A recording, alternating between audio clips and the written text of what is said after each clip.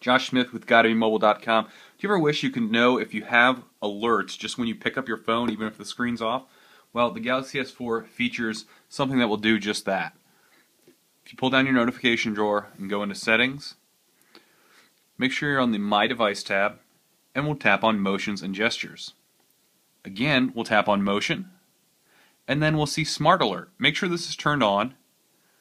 If we tap it here, basically it turns on something so that when your phone is turned off and sitting on a flat surface, if you then pick it up, it will give you an alert. It's just a quick vibration. You might be able to hear it here. And there I know that I need to check and see if I have any new alerts. Handy way to find out if you need to turn your phone off after it's been turn your phone on after it's been sitting on a table. Head over to GottaBeMobile.com for more Samsung Galaxy S4 tips and tricks.